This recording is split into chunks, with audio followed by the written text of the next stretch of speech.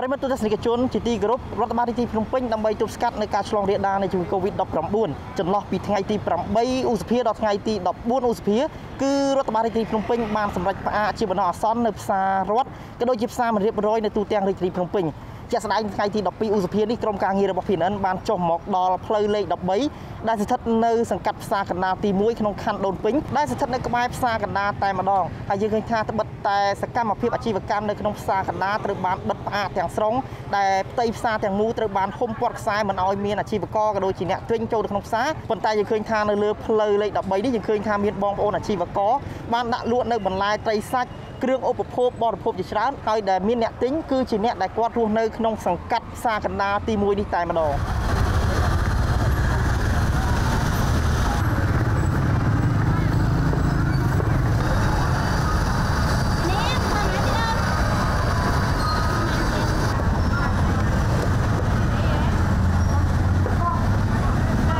គួ ររំលឹកជូនទស្សនិកជនថាដើម្បីទប់ស្កាត់និងកាត់ផ្តាច់ការឆ្លងរាលដាលនៃជំងឺ Covid-19 រដ្ឋបាលរាជធានីភ្នំបានសម្រេចបិទផ្អាកជាបណ្ដោះអាសន្នផ្សាររដ្ឋនិងផ្សារមរៀបរយរយៈពេល7ថ្ងៃបន្ថែមទៀតចាប់ពីថ្ងៃទី8រហូតដល់ថ្ងៃទី14ខែឧសភាស្របពេលដែលរដ្ឋបាលរាជធានីភ្នំពេញបានបិទផ្អាកជាបណ្ដោះអាសន្ននៅផ្សាររដ្ឋនិងផ្សារមរៀបរយនេះ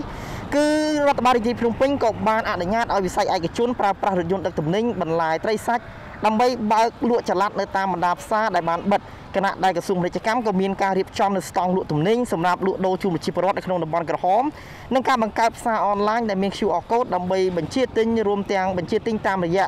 លេខទូរស័ព្ទជាច្រើនខ្សែហើយរាល់មុខទំនិញនិងបន្លែត្រីខ្សាច់ដែលដាក់លក់គឺមិនមានការឡើងថ្លៃនោះទេគួរបញ្ជាក់ថាក្រោយកើតមាននៅព្រឹត្តិការណ៍សហគមន៍20កុម្ភៈ ផ្សារធំធំនិងផ្សារមណ្ឌលរយមួយចំនួននៅក្នុងរាជធានីភ្នំពេញត្រូវបានរកឃើញថាមានអាជីវករសន្តិសុខបុគ្គលិកផ្សារមានវិជ្ជមាន COVID-19 ជាមួយគ្នានោះនៅថ្ងៃទី23ខែមេសារ